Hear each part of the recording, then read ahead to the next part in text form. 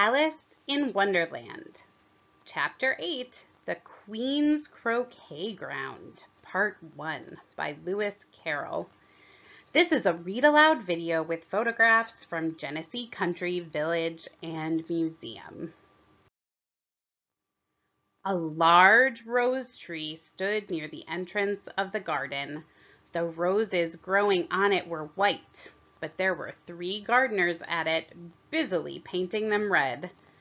Alice thought this was a very curious thing, and she went nearer to watch them. And just as she came up to them, she heard one of them say, Look out now, Five! Don't go splashing paint over me like that. I couldn't help it, said Five in a sulky tone. Seven jogged my elbow. On which Seven looked up and said, That's right, Five. Always lay the blame on others. You'd better not talk, said Five. I heard the Queen say only yesterday that you deserve to be beheaded. What for? said the one who had spoken first. That's none of your business, too, said Seven. Yes, it is his business, said Five, and I'll tell him. It was for bringing the cook tulip roots instead of onions. Seven flung down his brush and had just begun. Well, of all the unjust things! When his eye chanced to fall upon Alice as she stood watching them, and he checked himself suddenly. The others looked around also, and all of them bowed low. Would you tell me, said Alice, a little timidly, why are you painting those roses? Five and Seven said nothing, but looked at Two. Two began in a low voice. Why, the fact is, you see, miss, this here ought to have been a red rose tree and we put a white one in by mistake. And if the queen was to find out, we should all have our heads cut off, you know. So you see, miss, we're doing our best before she comes to, at this moment, Five, who had been anxiously looking across the garden, called out, the queen! The queen! And the three gardeners instantly threw themselves flat upon their faces. There was a sound of many footsteps, and Alice looked around, eager to see the queen. First came ten soldiers carrying clubs. These were all shaped like the three gardeners, oblong and flat, with their hands and feet at the corners. Next, the ten courtiers. These were ornamented all over with diamonds and walked two and two as the soldiers did. After these came the royal children. There were ten of them and the little dears came jumping merrily along hand in hand in couples. They were all ornamented with hearts. Next came the guests, mostly kings and queens, and among them Alice recognized the white rabbit. It was talking in a hurried, nervous manner smiling at everything that was said and went by without noticing her. Then followed the Knave of Hearts, carrying the king's crown on a crimson velvet cushion. And Last of all, in this grand procession, came the King and Queen of Hearts. Alice was rather doubtful whether she ought not to lie down on her face like the three gardeners, but she could not remember ever having heard of such a rule at processions. And besides, what would be the use of a procession, thought she, if people had all to lie down upon their faces so that they couldn't see it? So she stood still where she was and waited. When the procession came opposite to Alice, they all stopped and looked at her, and the queen said severely, Who is this? She said it to the knave of hearts, who only bowed and smiled in reply. Idiot! said the queen, tossing her head impatiently. And turning to Alice, she went on, What's your name, child? My name is Alice, so please your majesty, said Alice very politely. But she added to herself, Why, they're only a pack of cards after all. I needn't be afraid of them. And who are these? said the queen, pointing to the three gardeners who were lying round the rose tree. For you see, as they were lying on their faces and the pattern on their backs was the same as the rest of the pack, she could not tell whether they were gardeners or soldiers or courtiers or three of her own children.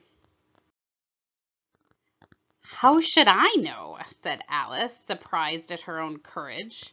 It's no business of mine.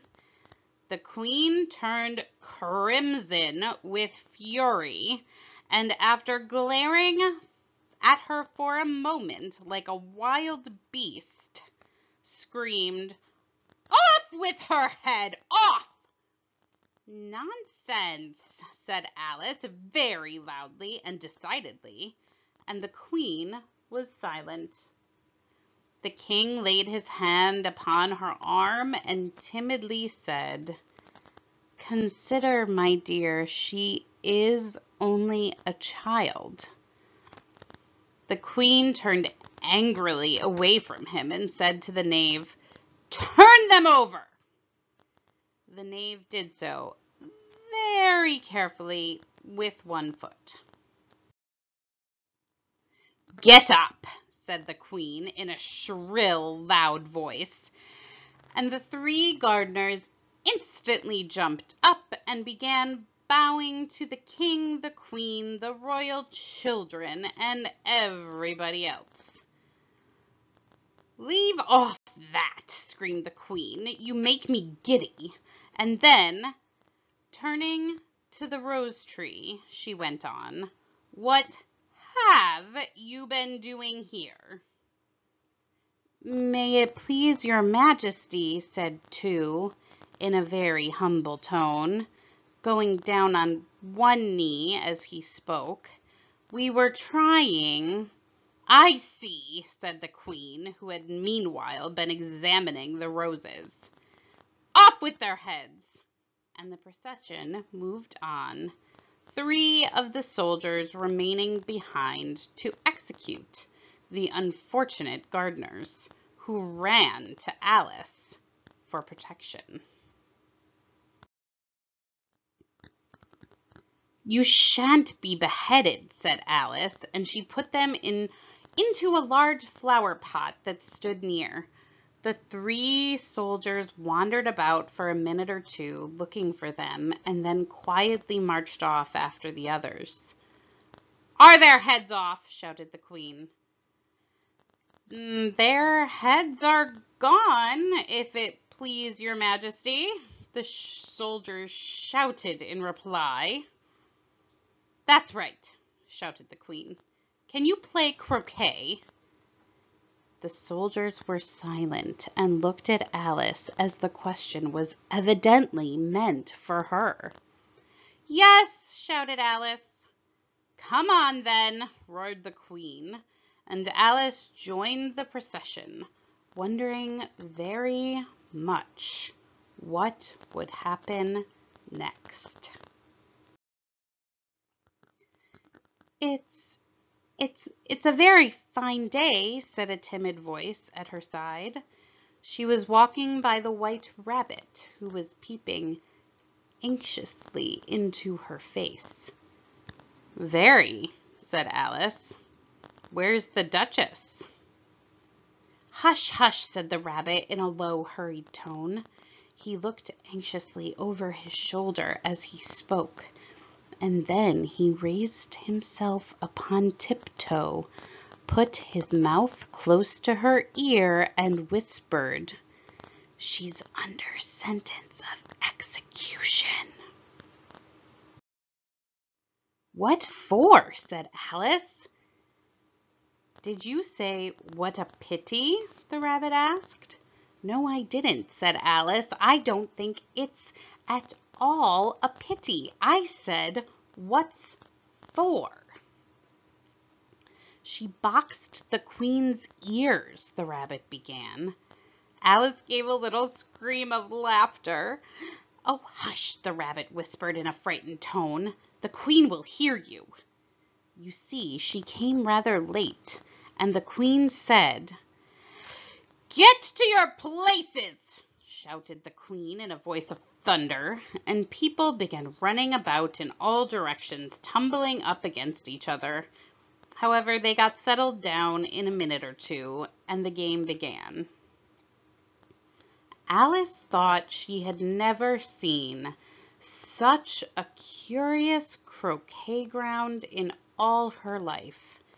It was all ridges and furrows, the balls were live hedgehogs, the mallets live flamingos, and the soldiers had to double themselves up and to stand on their hands and feet to make the arches.